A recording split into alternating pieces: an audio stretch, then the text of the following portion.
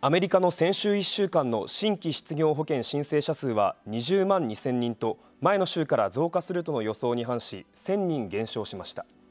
2週続けて改善しています。また失業保険を継続して受給している人の数は180万183万4000人とこちらも前の週から3万4000人減少しました。